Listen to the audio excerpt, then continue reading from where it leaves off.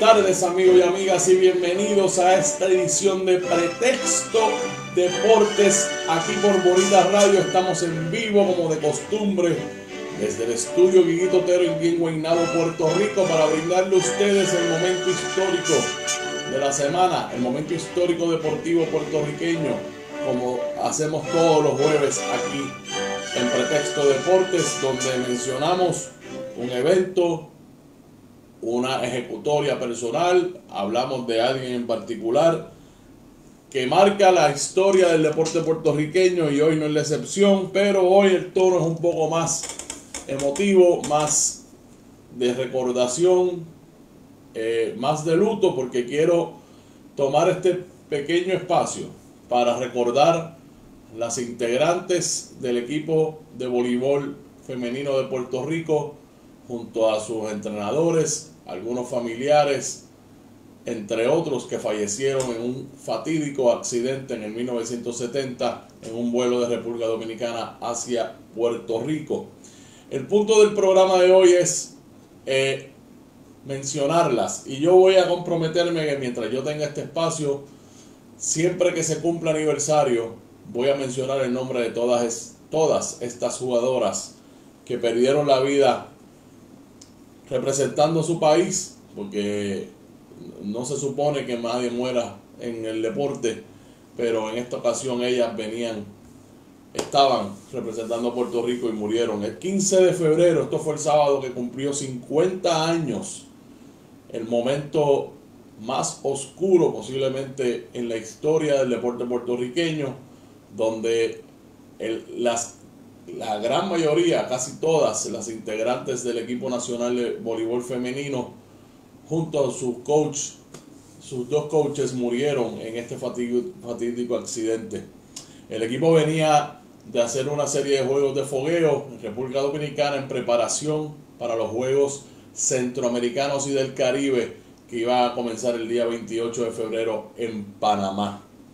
Lamentablemente el avión con donde venían viajaban hacia San Juan, saliendo de Santo Domingo, tuvo desperfectos mecánicos, cayendo así en el mar Caribe, y así nosotros perdiendo eh, estas grandes atletas familiares eh, y marcando uno de los más oscuros momentos en la historia del deporte puertorriqueño. En ese vuelo también, antes de mencionar a las jugadoras, eh, viajaba el ex campeón peso ligero dominicano,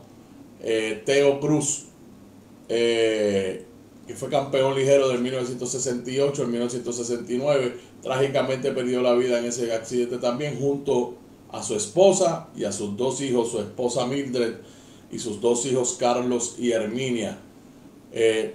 muy, muy lamentable la muerte de Teo Cruz y toda su familia en ese viaje. Bueno, las integrantes de ese equipo de voleibol, o todos los integrantes de ese equipo de voleibol que murieron esa, esa fatídica noche, son Naida Cardona, Lolita Villegas, Carmen Zoraida Figueroa, Belinda Correa, María de Lourdes Sánchez, Rosa Rivera, las hermanas Maritza y Rosa Bernal, Hortensia Otero, Iris Rodríguez, su coach Juan Ramón Lubriel y Fernando Jiménez, su asistente. En ese vuelo no estaba la mayor de esas jugadoras, Carmen Rosa Sabater, que era integrante de ese equipo, que viajó el día antes junto al presidente de la Federación de Voleibol de Puerto Rico, José Nicolás Palmer, para atender para asistir a la cena olímpica donde también se iba a reconocer a Carmen Rosa Sabater por sus ejecutorias como voleibolista. Así es que 50 años han cumplido de este accidente, en, además de las jugadoras Teo Cruz, eh, su familia, los dirigentes eh, Juan Ramón Lubriel, y Fernando Jiménez, también familiares de muchas de las jugadoras estaban a bordo. En total 102 personas perdieron la vida en lo que marca ser el evento más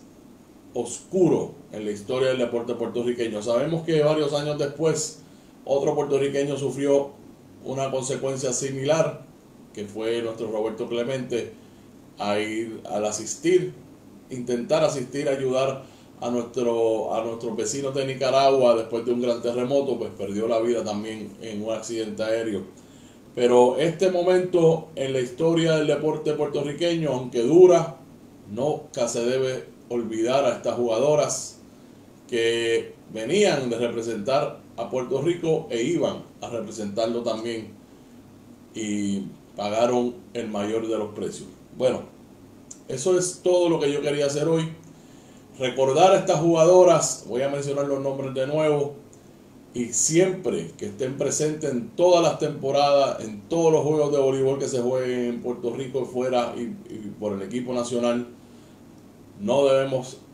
eh, olvidar nunca lo que pasó esa noche, lo que representan ellas en el desarrollo, del, particularmente del deporte femenino en Puerto Rico. Yo sé,